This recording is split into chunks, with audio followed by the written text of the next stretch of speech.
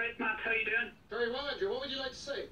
Well, I was, I was just looking there today. Um, it went non-runner, no bet now for the four, four or five big races. One or two have, haven't they? Paddy Power, I know, have you? Uh, bet three six five just went there Did today. they? Right, good. Yeah. So I'm, I'm really looking forward. You know, it's a the champion hurdle. I really wanted to talk about, and I think Hustley could be could be mid this year. You know. Which one? And, uh, the champion hurdle. Okay. In the form of Annie Power. I think Annie Power, uh, she, I, I, she's due to have a run in February, and uh, I think that was her more or less her prep last year. Ganante, I remember you were saying that it was to be was a substandard champion hurdle last year, you know, and I think it might be a little bit weaker this this year as well. And I think she, she's on with a brave chance to actually do back-to-back champion hurdles. I honestly don't think um, Faugheen is going to make Cheltenham. I've just got that feeling he's not going to make it. Very dodgy feeling to have, Andrew. It's a feeling that I think in life we all have moments where we regret a feeling, and I think this is a feeling that you will regret big time. You think so? No, well, okay then. All right. Say, well, two things, right? One, I don't think Annie Power and Faugheen are going to line up against one another in the champion hurdle. Well, that's because Rich Ricci has had a complete loss of sportsmanship. Yes, carry on. right, okay.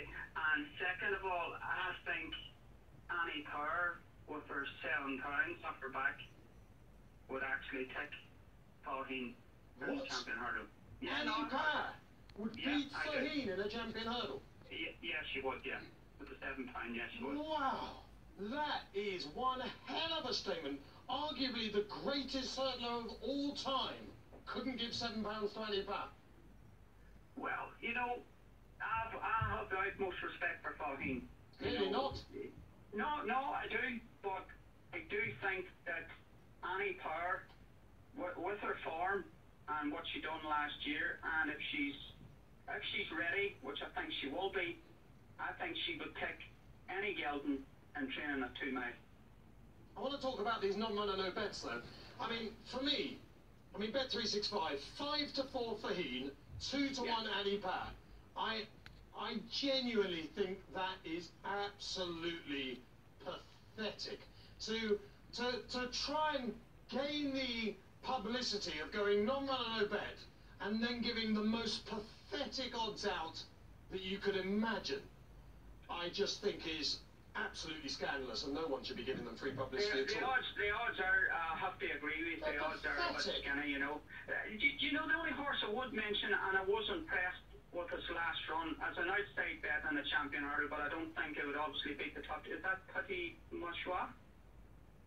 It's around 71. Yeah.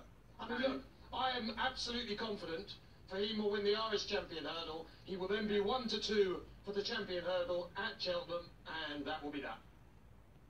Yeah, well, maybe I'll ring you back, uh, Matt, and if, uh, if I'm wrong, I'll ring you back and say I got it wrong, but I, I I have a feeling I don't think he's going to make Cheltenham. I have a feeling if you're right, you'll enjoy that phone call a lot more. okay.